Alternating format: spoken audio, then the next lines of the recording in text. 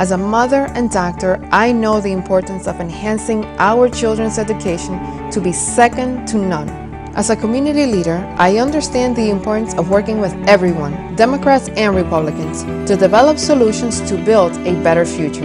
As a small businesswoman, I know how to balance the budget and fulfill my obligations and commitments.